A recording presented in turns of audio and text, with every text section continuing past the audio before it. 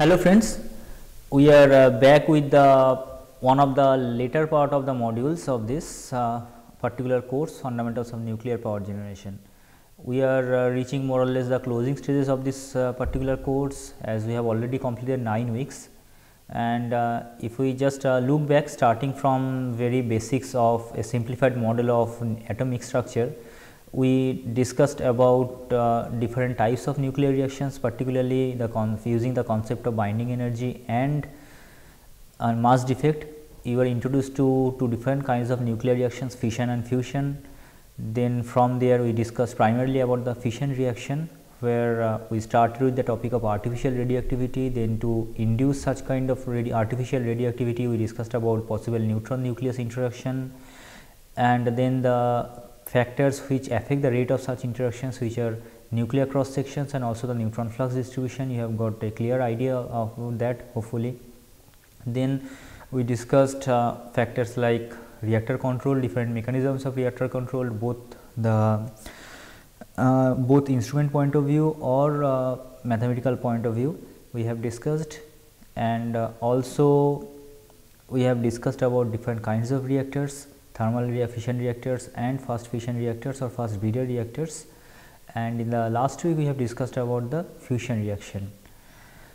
Now, all these topics are actually could have been discussed in much more detail. I could have added some more uh, chapters or I, I should say some more topics and one or two more lectures uh, can always be could have always been added to that However, uh, because of the paucity of time, because of the limitations on the total number of lectures I have, I had to curtail that because at the very beginning of this course that is in the introduction section, I promised to give you some idea about some of the burning issues and the hottest of them means whenever there is some discussion of setting up any nuclear any new nuclear installations always there is uh, apprehension of uh, radiation related effects and whenever you, you, mention the term nuclear to some common people the first thing definitely he is going to hit back to you is uh, what will be the radiation effect and that is what we are going to discuss in this particular topic as I have promised by the end of this particular course you will have some more idea about all these burning issues and you can have uh, or you will be in a better position to participate in those discussions. So, the topic for this week is biological effects of radiation.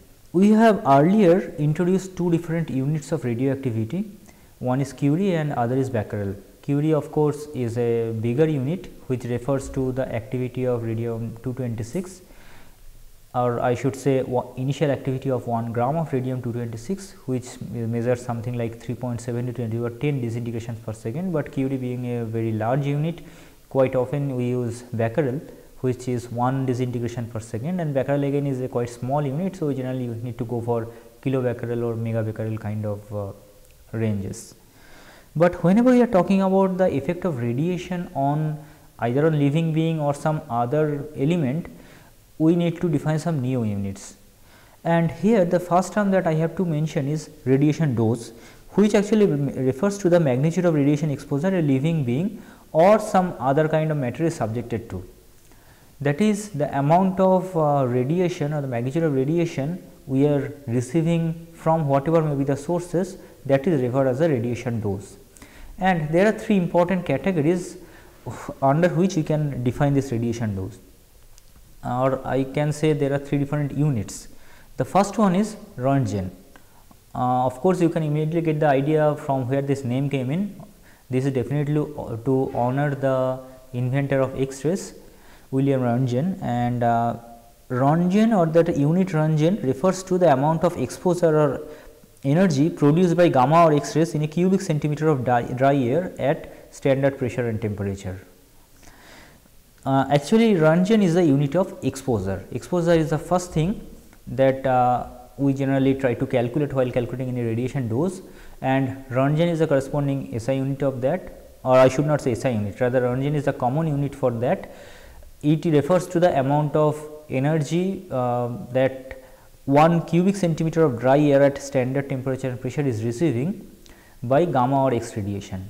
And generally whenever uh, a particle or something like say air molecules here oxygen molecules or nitrogen molecules they are subjected to some kind of gamma or x radiation the result invariably is emission of electrons that is they will go through some kind of beta decay kind of process and um, they will emit electrons. So, by measuring the total amount of electrons that is coming out from that particular volume of air we can get also a measure of this exposure and uh, 1 cubic centimeter of dry air at standard temperature and pressure. So, it is quite easy to calculate the corresponding mass of air that we are talking about like uh, assuming air to be uh, air to be an ideal gas and also a single gas that is uh, instead of considering air as a mixture of different components if we consider air as a single ideal gas then we know that as per ideal gas equation of state P is equal to rho r T or rho is equal to P by R T. Now, pressure here we are talking about standard temperature and pressure. So, temperature is 300 Kelvin uh, sorry temperature is uh, 25 degree Celsius which is 298 Kelvin. Pressure is the atmospheric pressure. And uh, R for air is 0.287 kilojoule per kg Kelvin. So, here of course, R we are not referring to the universal gas constant. Rather we are talking about the individual gas constant for air which is the universal gas constant divided by the molecular rate for air and that comes to be 0.287 kilojoule per kg Kelvin. So, putting these values you can always calculate the density of air and as uh, the volume given here is 1 cubic centimeter. So, if we multiply this density with volume which is 1 cc you will get the total mass of air that we are uh, considering while defining this Röntgen. So, the amount of energy received by uh, this particular mass of air which whose volume is 1 cubic centimeter at STP uh, that is referred to as a Röntgen. Second unit is RAD radiation absorbed dose in short RAD. So, it is a measure of the absorbed or physical dose which is the amount of energy deposited in unit, unit mass of human tissue or any other media. Basically, Röntgen is the unit that refers when you are talking about air as the receiving component or receiving media, whereas when the receiving party is a human tissue or maybe some other media other apart from air, we use this RAD. This is particularly relevant to human or living beings. So, it refers to the amount of energy deposited in a unit mass of human tissue and uh, one rad is equal to 100 erg per gram. Erg is the old unit of energy, the CGS unit and uh, you can uh, find the relation generally one erg is equal to 10 to the power minus 7 joule. You can check the conversion and once we put this then uh, we get this to be equal to 0.01 joule per kg. That means, if 1 gram of human tissue receives 100 erg of energy or 1 kg of some human tissue receives 0.01 joule of energy, then we call corresponding physical dose or absorbed dose to be 1 rad. And then REM which is Röntgen equivalent man. It is a measure of the biological equivalent dose which amounts to the biological damage caused by irradiation, but uh, here we are trying to find out like Röntgen or rad gives us the amount of energy that has been deposited to the receiving party. And REM refers to the amount of damage or it tries to quantify the damage that irradiation has caused. And uh, while considering the damage we need to consider two quantities. Of course, the amount of energy received that uh, definitely matters. So, that is the first one, but also the rate at which this energy loss per distance per unit distance travelled by the particle that also matters in defining this REM. So, Röntgen equivalent man or REM gives a measure about the damage that has been caused by a particular irradiation and generally these three together are called three R's of radiation Röntgen, RAD and REM. So, these are the three R's uh, gives us a clear idea about how much energy or uh, that has been received because of radiation by say a living being and then how much of energy uh, that has been absorbed in the living tissue that is given by rad and finally, the REM gives you the damage caused by this. But in order to calculate this REM that is damage, we generally use uh, something called quality factor. The amount of uh, damage caused by despite having similar energy level, the amount of energy amount of damage rather caused by a particle uh, that also somehow depends upon the total mass of the particle and therefore, for different particle the amount of damage caused is different. Beta particle being the lightest one that generally is the less like or least likely to cause any kind of damage whereas alpha particle generally being the heaviest one among all this radiation that we are talking about that is uh, expected to cause the largest amount of damage. And accordingly we define a quality factor this QF where the value of quality factor is given to be 1 for beta particles where beta plus and beta minus that is both electron and positron we are talking about whereas for alpha particle is specified to be 20 and these are the two extreme limits. One corresponding to very light particles like the electrons and positrons and also X and gamma rays, gamma rays. Actually, X and gamma rays as I have mentioned ultimately gives uh, ultimately leads to the beta emission. And alpha is the heaviest. So, it is it is fixed at 20 and then all others somewhere in between. Like neutrons depending upon different energy level it can have different values. Particularly it is interesting that this point 1 to 2 MeV energy level it is the, it is uh, most likely to cause any kind of damage. Corresponding quality factor is 20, but when you are at a lower level it is 10 similarly when you are at a higher level that is also 10 and it reduces. So, value of quality factor if we plot q f on one side and neutron energy on the other side you are likely to get a distribution somewhat like this with this peak appearing corresponding to this particular energy 0.1 to 2 MeV. And now to get the value of REM, of course, uh, REM is uh, more a qualitative quantity and that is why you need to define this qualitative factor, but Roentgen or rad they are physical quantities because they refer to the amount of energy absorbed and definitely can be measured quite easily.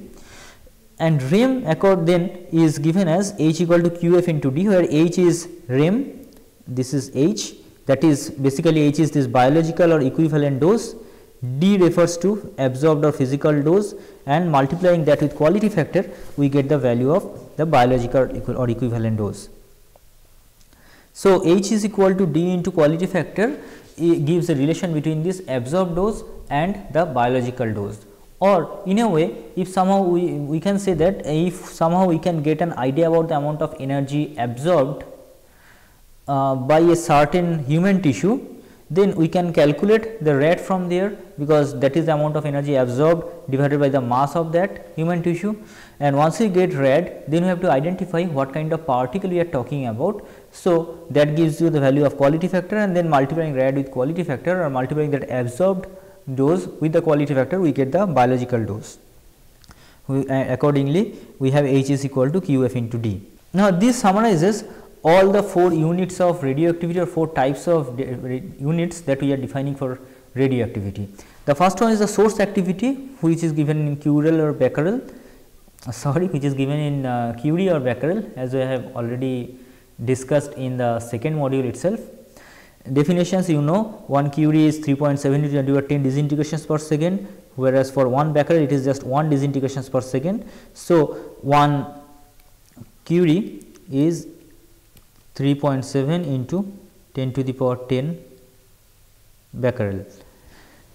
So, the activity of the radiation source is measured in terms of Curie and becquerel, but the amount of energy this source is emitting because of all this radioactive uh, radioactive phenomenon that is going on there, uh, we have to see where this energy is uh, being uh, deposited and that there comes the role of this exposure particularly when you are talking about X and gamma rays we use the term exposure and not for non-living quantities particularly for air I should say. Generally we use this exposure for air. So, uh, corresponding unit is Roentgen and uh, sometimes we can also refer to this CGS unit of coulomb per kg. 1 Roentgen equal to 2.58 into 10 minus 4 coulombs per kg and uh, we using the amount of energy emitted by the source and by measuring the amount of dry air which is being subjected to this irradiation we can calculate the Roentgen. Then absorbed dose rad as I already mentioned which is 0.01 joule per kg, but now comes the SI unit of absorbed dose which is gray GY. We use GY and uh, one gray refers to 1 joule per kg. So, 1 Gy is equal to 1 joule per kg that is when a human tissue measuring 1 kg receives 1 joule of emission or irradiation then we call the absorbed dose to be 1 gray and uh, relating that to the definition of rad we get 1 gray, is equal to 100 rad. Similarly, for biological dose while the common unit is rem, but the SI unit is sievert or SV and as the relation we have seen in the previous slide is equal to du into QF. Now, QF is given once we know the nature of the irradiation whether it is a beta particle or neutron of certain energy level or alpha particle we know the value of QF and now to get H we have to put the value of D. If we are using D in terms of rad then H will be coming in form of rem. If we are putting D in the form of gray then uh, sievert will be coming or H will be coming in the form of sievert. So, quite similar to this uh, gray we can also write 1 sievert is equal to 100 rem or uh, instead of uh, capital generally small letters are used. Oh, actually I was uh, correct in the previous case it is R capital and E m because R refers to Röntgen this R E m generally is the way we write rem and 1 sievert is equal to 100 rem quite similar to this particular relation. We can use these relations to calculate the total amount of energy received by any quantity once we have some idea about the uh, strength of a source. Like suppose it is mentioned that I am trying to form arbitrarily form just from my memory I am trying to form a numerical. Suppose one source is emitting 1 kilobecquerel of energy, it is emitting 1 kilobecquerel of uh, radiation and that amount of radiation is being received by 2 kg of dry air then you have to calculate the corresponding absorbed dose.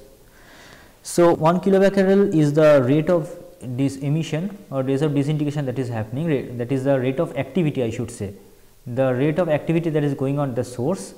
Now, if the amount we need to know the amount of energy that has been released because of such activity if this is fission reaction that is going on then total amount of energy released during this will be 1 kilobecquerel means 10 to the power 3 time number of uh, disintegrations that is happening per unit time multiplied by the amount of energy released for the disintegration this is the total amount of energy that has been released. If we are talking about say fission reaction as this disintegration then one fission reaction typically releases 200 MeV of energy and MeV and uh, Joule relation also is known to us 1.602 into 10 to the power minus 13 joule that refers to uh, the conversion between MeV to joule. So, this is the total amount of energy that has been released by the source and that now that is being received by 2 kg of air. So, if we divide this by the mass of the concerned air that gives us the absorbed dose which we are looking to identify. And now, if we know the nature of this uh, radiation if it is a neutron or something then multiplying this absorbed dose we are going to get the biological dose or biologically equivalent dose. But there is also something called effective dose. The response given by different tissues towards radiation are not same, they are all different. Like the way our skin responds to radiation, it is actually always exposed to radiation, the radiation coming from the sun or from all extraterrestrial bodies that is being directly intercepted by the skin. The, so, the way skin responds to radiation, some of the inner organs may not respond the same way, they may be much more sensitive to radiation and that is given by this effective dose. To calculate this effective dose, we need to multiply this biological equivalent dose with a tissue weighing factor uh, to get the effective dose. And the value of tissue weighing factor can uh, be identified from here. As you can see where uh, certain quantities like the skin or maybe the bone surface, they have extremely small weighing factor. So, just 0.01 that is whatever biological equivalent dose the skin is being subjected to only 1 percent of that is being absorbed by the skin effectively. But there are certain other substances also like if you think lung it is 0.12. So, whereas for ovary or gonads it is 0.2 which is 20 percent. So, that is significantly larger and this total of course has to be 1, but the response given by different organs towards a given radiation will not be same they will vary following this tissue weighing factor and hence for every organ we can calculate an effective dose differently. Finally, the another definition collective effective dose or population dose. It represents the total dose equivalent to a specific group of people. Here we are not talking about one individual because for a single individual we can get this effective dose or biological equivalent dose can refer to a single individual and then how much part of that has been absorbed by uh, different organs that is given by the effective dose. But instead of single individual when you are talking about a population a group of persons then what we get is this collective effect, effective dose. It represents the total dose equivalent to a specific group of people it, if it is uh, measured as the sum of all it is measured as the sum of all individual effective doses over the time period being considered something like this. If suppose n refers to the total number of uh, persons who are being uh, subjected to an effective dose of H to H plus DH, then corresponding uh, collective effective dose is given as integration of NH to HDH. Integration limits it can be some 0 to some highest value of h, but uh, practically h can have any value and hence we often perform this integration. Generally, we need to integrate this over a period of time for which we are doing this calculation and uh, that for that generally this often tends to infinity because uh, unless all the radioactive isotopes have uh, decayed the radiation will keep on uh, happening. And hence we may have a situation that the same population is being subject to radiation. Of course with change in changing in magnitude or change in magnitude but for an infinite duration of time. This type of concept is particularly useful when you are trying to identify what is the effect of some kind of failed nuclear experiments on the neighboring areas like if we think about the explosion at Hiroshima at 1945 now if we want to know what is the total dose or what is the effective dose that corresponding group of people has uh, received or receiving since then, then we have to go for this collective effective dose. The value of collective effective dose of course keeps on changing with time and also contribution coming from different factors that also keeps on changing. Like uh, these are the data for United States in early 1980s you will find only 835,000 uh, amount of collective effective dose the persons are subjected to by the way the SI unit is person sievert because we are basically multiplying the effective dose with the number of persons involved there. So, it was only 85,000 persons and also you will see that the total contribution coming from the background radiation is 83 percent. Here this background means we refer to the extraterrestrial radiation we our body or all the living beings and also non-living objects are continuously being subjected to extraterrestrial radiation or cosmic rays coming from the outer atmosphere and also from the terrestrial bodies. So, in early 80s 83 percent comes from this background background radiation and only 15 percent because of the medical devices. Whereas, coming in 2006 only in about 25 years the total value has gone to 1870,000 person sievert which is uh, more than double than the initial value and now background contribution is only 50 percent whereas medical has grown to nearly 50 percent again. So, we are receiving increased amount of uh, radiation contribution coming from the medical devices that you are using accordingly the collective effective dose is also continuously increasing. If we want to calculate the collective effective dose for a group of person, suppose uh, one uh, group of persons say some nuclear incident has happened in a particular town which contains 800 number of persons. Out of this 200 persons are being subjected to an effective dose of 1 millisievert and remaining 600 persons are being subjected to 3 millisievert. Then the collective effective dose or population dose that is H population can be just calculated as 200 into 1 plus 600 into 3 millisievert or I can say it should be persons millisievert. So, the total uh, collective dose received by the population is given and uh, in order to know the effect on an individual or average amount of dose received by an individual then it should be H population divided by total number of persons that we are talking about. These are some data from different parts of the world about the amount of energy received by a single person. Then you will find that at Kerala coast of India where it is 12.5 millisievert in certain regions like in Canadian average it is only 1.77 and uh, all these Canadian countries they are quite low.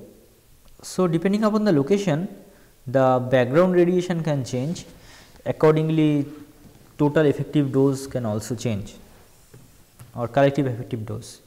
So, these are to provide you an idea about this quantity of energy that we are talking about. How much is 1 sievert of effect or 1 sievert of radiation dose? Just to compare with this like when you are uh, taking a flight, a domestic flight say traveling from Delhi to Mumbai, then the typical level of radiation you will be subjected to is in the range of 0.02 millisievert. Whereas, when you are undergoing an X-ray, it is 0.1 millisievert. And uh, if we uh, go on increasing further, then a person who is working in an uranium mine, he receives about 1 millisievert of energy uh, over annual over an year corresponding annual public dose limit is also 1 millisievert whereas certain other uh, situations you can find the average annual exposure to astronauts working in the international space station is 150 millisievert which is uh, much higher than this. Similarly, the radiation dose keeps on increasing with different kinds of application and also uh, depending on whatever the occupation levels a person is having like when we reach something in the level of this 1000 millisievert of effective dose, then the symptoms of radiation sickness may start to appear. So, this 1000 millisievert is an important criteria and applications which requires energy higher than this or emit higher level of radiation should be quite careful now. So, that because the typical annual dose that we can suffer is only in the range of 1 millisievert. In fact, when you are going through some kind of CT scan or chest X-ray, then this is 7 millisievert amount of energy that gets absorbed in our body, but it is much lower for an X-ray.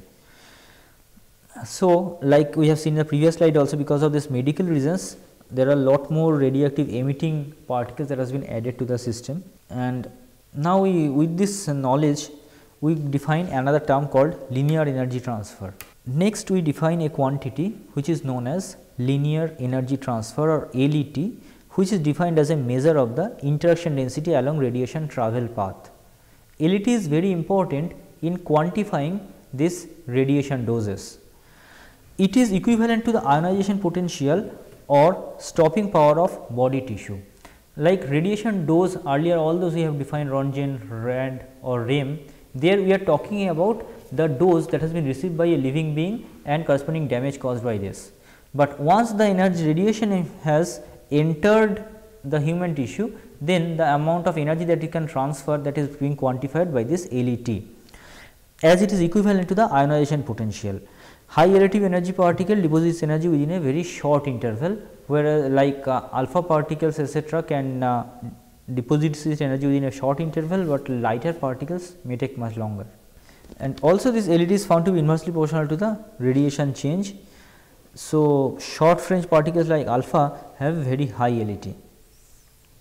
LET increases with three factors increasing mass of incident radiation that is instead of uh, neutrons or uh, electrons if we use alpha particles as a source alpha particles being heavier the corresponding value of uh, LET also will be high. Similarly, the charge of incident radiation can be increased to increase the LET as well and finally, decreasing energy of incident radiation. In order of decreasing LET, we can uh, put a list like fission fragments generally are found to have very high LET values and low mass number nuclei as well.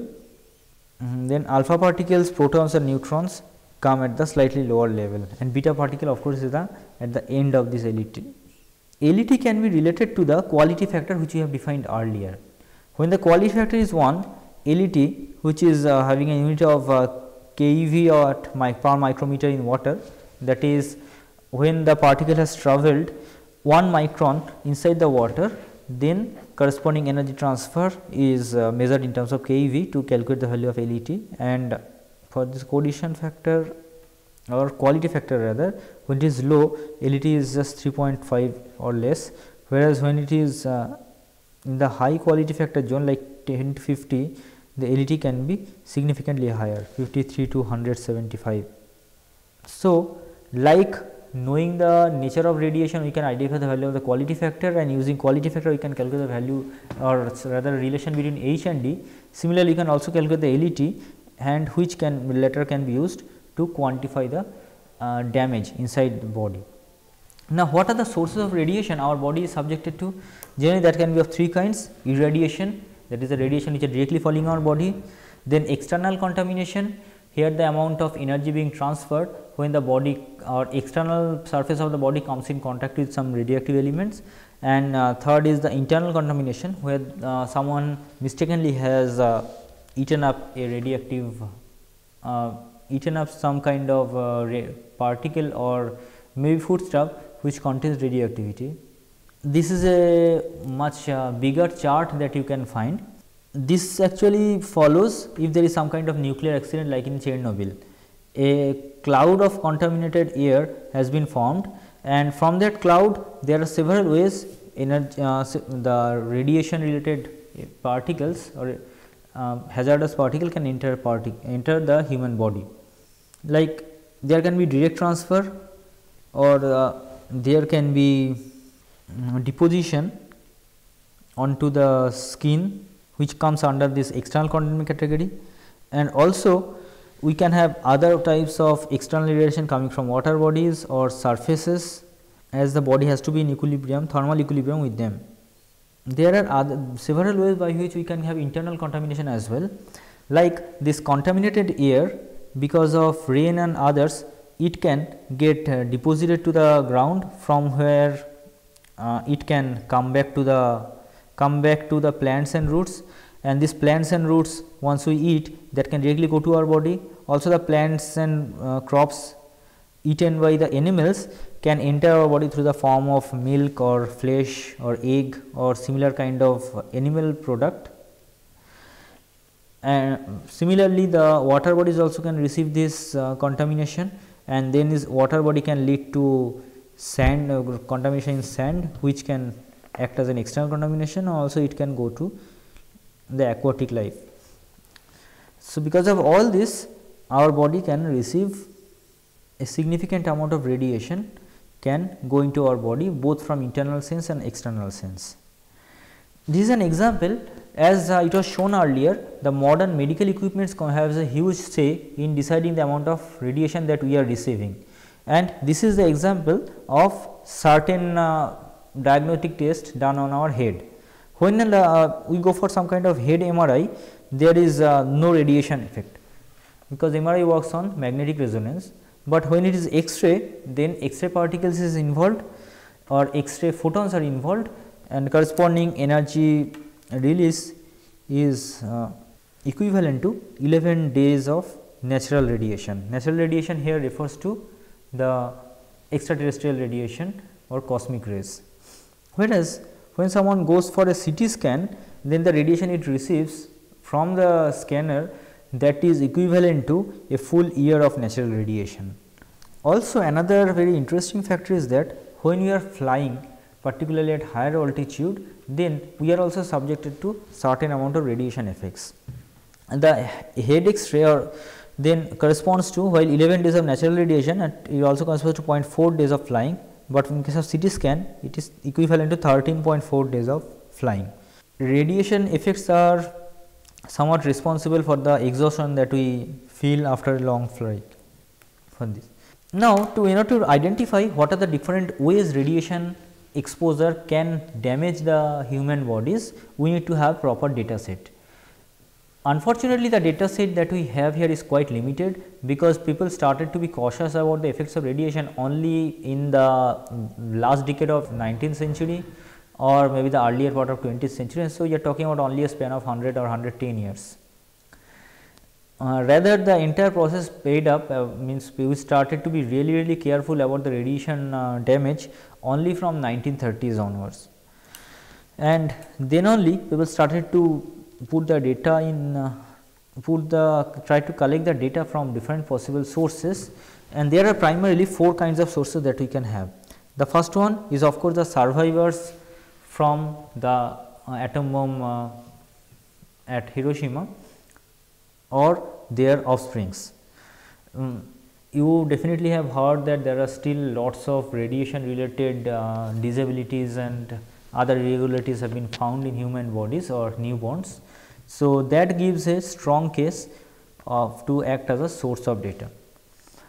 Second, the medical exposure. All the different kinds of medical exposure that we go on uh, today, most of them uh, have some uh, hazardous radiation effects like the X-rays, the fluorescent guided processes, thermotrat and also the, um, the CT scan kind of equipment. Third is the occupational exposure. Depending if you are working at a place where which is uh, bound to have significant amount of radiation, then that can also significantly hamper. The very, very famous case there is that of these radium dial painters. These girls used to paint the dial of radium watches.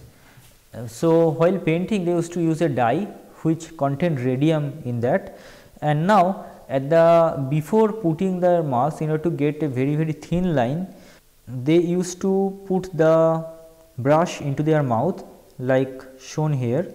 They used to put the brush into their mouth just to make it very very thin. And then uh, they use that for painting the digits or the lines in on the clock dial, but that allowed a direct supply of radium into their body.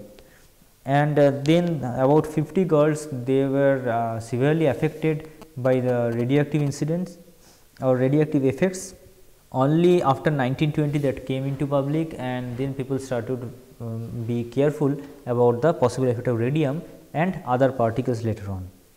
So, different occupational exposure the persons or, or miners working in the uranium uh, mines they can also be subjected to serious amount of radiation.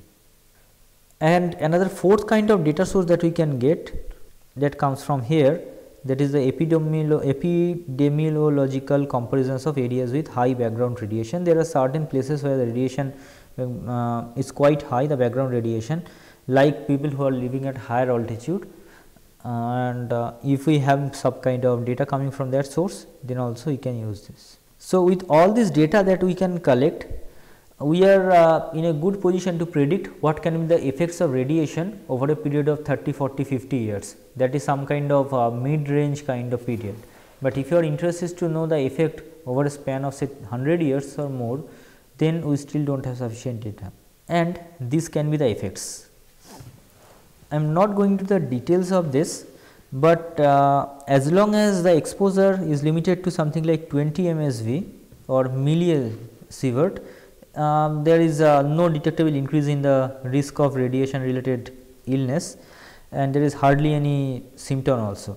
But when you go to the moderate range starting from this 100 millisievert to something in the range of 1000 millisievert, the risk of cancer is definitely much more uh, there may not be an immediate symptom, but uh, the illness may start to spread later on. And third is in this uh, high range when we are in this range of 2000 millisievert or even higher. Here we may have acute radiation sickness and also it can be fatal. And these are the different kinds of effects that we may identify from radiation for all different organs. From time perspective, if uh, the body is subjected to radiation within 10 to the minus 15 seconds or up to something 10 to the minus 12 second, then the energy is being deposited and particles are being excited. Then uh, at the physical chemical interaction we discussed about the formation of uh, free radical diffusion. We are going to talk about that again and when the time is in the range of 10 to the power 0 that is of the order of 1 second to the power 6 second we are going to get the biological response because we may face something like cellular death, modification transformation of or aberration and also fixed damage of, damage of the cell. And finally, when uh, time is more than 10 to the power 9 seconds then medical effect is essential. The radiation exposure can lead to two different kinds of effects one is the deterministic effect, other is the stochastic effect. Deterministic effect refers to the effect the severity of which keeps on increasing with the duration of exposure. That is more it is a, more the tissue is exposed to this radiation more will be the effect. Something similar to the sunburn that we have. The longer you are in the sun the larger will be the amount of tan. But the other is stochastic effect where of course, the risk of having the illness that keeps on increasing with the increase in the radiation uh, potential or radiation uh, dose or in other way I can say that uh, the longer the person is exposed to radiation the higher is the probability of facing the radiation related illness. But there is no guarantee that the illness will always appear, but if it appears the it can cause permanent damage and it can have much larger amount of effect. This is a very brief view of human cell which you have uh, definitely seen at your uh, school level biology. Inside the cell we have this uh, nucleus which is uh, uh, filled with the chromosomes and inside the chromosomes we have the DNA. This is the structure of a DNA of course, uh, ribonucleic acid or RNA is found in the body of several other kind of animals but uh, now it is uh, for modern group of mammals we have the DNA only RNA is often visualized as the previous form of DNA. Now inside DNA we have this double helix kind of structure.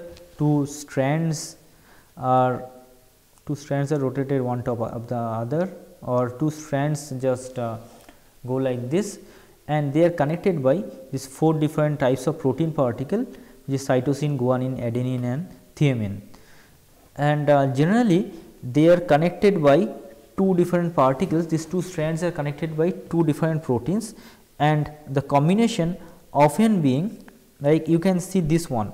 It is adenine and thymine it is this AT combination you will always find uh, whereas the other case you will always find this which is CG that is cytosine and guanine. They will always form a combination like this that is A will always get connected with T and C will always get connected with G. And this point where they are connected here generally you have a sugar molecule which binds these two proteins together. Now, this is the normal structure of a DNA, but there can be uh, significant change in this significant mutation in this or modification in this because of the effect of radiation. Radiation on human cell can have primarily two kinds of effects. One is the free radical formation. Radical refers to an atom which may be neutral, may be charged, uh, which has unpaired electrons and therefore, it is uh, looking to combine with another atom to get stabilized. They are uh, highly reactive and therefore, they are capable of altering existing state of cells. This is something that may happen inside a cell. If I quickly go back to the previous slide, the human cell, um, the all these parts of the human cell are covered with cytoplasm and cytoplasm the primary medium of cytoplasm primary component of cytoplasm is water and this water when it is subject to such kind of ionizing radiation that goes through the hydrolysis process. That means it becomes uh, this H2O plus and electron comes out. And uh, because of this hydrolysis process you can uh, go through this diagram. There are several kinds of uh, subsequent reactions possible. This uh, electron and this H2O plus radical can uh, react with other water molecules and can lead to the formation of several very important and highly reactive radicals. Particularly important of them is this superoxide which HO2 and the peroxide H2O2 which can be highly reactive and they can oxidize the molecules present inside the cell. So, the ionizing radiation uh, can cause hydrolysis of water and correspondingly we get the form can get the formation of several kinds of oxidizing radical including the peroxide and superoxide. Accordingly, cell may exhibit any of the following behaviors, cell can die, the cell can reproduce a new cell, but the new cell may die, it may not have sufficient strength to survive. Uh, it can reproduce a new cell which is abnormal. And also there is a fourth possibility the cell can fight the situation, can repair itself and function normally, which is of course possible, but generally with radiation we get uh, if the radiation is quite strong we get these three kinds of uh, effects. This abnormal cell formation is uh, extremely important because the new cell that is appearing that may have some permanent kind of uh, defect into it which can lead to cancer in future. The other effect this cellular uh, or other cellular effect this radiation can have is the direct radiation damage particularly to the DNA. DNA the deoxyribonucleic acid uh, it contains the gene, but when it is subjected to this direct radiation the strands this particular strands they may broke with each other. Um, the DNA repair proteins are there inside a living cell which is which tries to repair this and get the DNA back to its original portion position, but uh, uh, most often because of the strong radioactive effect uh, at least over 90 percent cases the double strand breaks and uh, leading to severe kind of damage to the DNA. Now, we know that the number of pairs of DNA that we can have inside the body of a mammal is fixed like humans have 23 pairs of chromosome and chromosome contains DNA. Out of that 22 pairs are the normal chromosome or autosome and one pair is the sex chromosome which decides the gender. And the DNA is the most important part of that chromosome.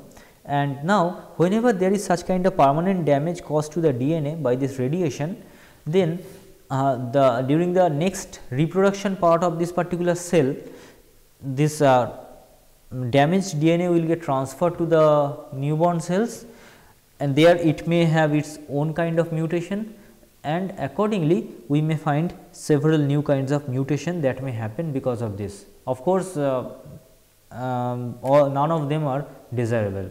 In fact, it has been observed also that instead of uh, maintaining that AT and uh, GC or CG combination, nowadays there uh, it is also able to we are also able to find a combination between say adenine and guanine or between uh, cytosine and thymine or certain others that is the basic structure of DNA that is also getting modified when uh, the concerned person or concerned living being is subjected to very strong radiation over a sustained period of time.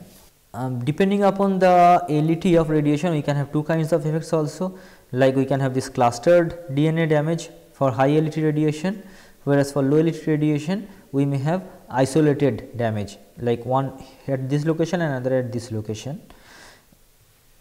In, but both cases we generally find uh, 2 lesion formation per 8 ionization and excitation. So, because of the such kind of damage caused to the DNA by this ionizing radiation, ionizing radiation, the next generation can face or next generation of cells I mean they can have a significant amount of difficulty or significant amount of distortion in their own structure. There can be a wholesale mutation in the gene structure as well which uh, can lead to severe kind of damage or illness to the concerned person. So, this lecture I would like to keep it here. In the next lecture we shall be deciding discussing a bit more about the effect of radiation on human body and then we shall also be seeing the way we can measure the radiation and finally, a few uh, a few means of getting ourselves protected from such kind of radiation this.